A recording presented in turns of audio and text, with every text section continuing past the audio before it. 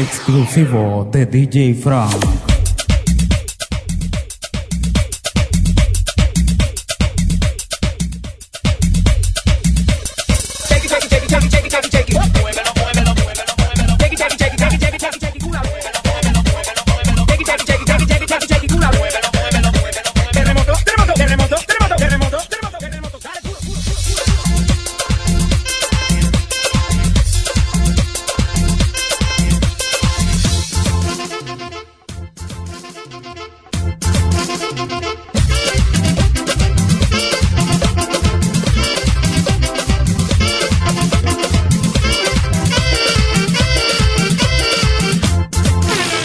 another exclusive, only from NYC Remix.